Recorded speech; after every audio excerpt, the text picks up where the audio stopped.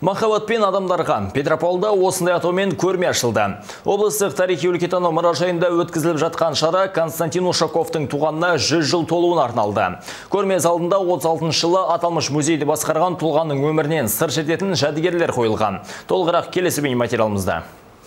Солтүстік Қазақстан облыстық тарихи өлкетану мұражайының мына залы бүгін жаңа тарихи жәдігерлермен толықты. Көрмеге қазақ кср еңбек сіңірген мәдениет қызметкері Ұлы Отан соғысының ардагері 1947-1983 жылдары аталмыш мұражайды басқарған Константин Ушковтың жеке заттары мен фотосуреттері қойылды. Тіпті шарадан тұлғаның әскери киімдері мен бұйымдарынан бөлек отбасылық құндылықтарын да байқауға болады. 36 жыл қызмет істеген ушков біздің мұражайымызды республикалық мұражайлардың ішінде ең үздік мұражайлардың бірі қылып көрсеткен болатын келген қонақтарымыз осы көрме арқылы ушков константин сергеевичтің өмірбаяны мен қызметтік жолы мен және еңбектері жайлы көп мәлімет ала алады. Көрмені тамашалауға келгендердің қатарында людмила евсина да бар. Зейнеткер талай жылдар бойы константин ушковпен бірге қызмет атқарыпты. Нәзік жанды ғұмырының бір бөлігін жаны жайсаң азаматпен жұмыс істегендігіне қуанышты. Кейуананың айтуынша константин сергеевич өз ортасына сыйлы асқан білімді болыпты.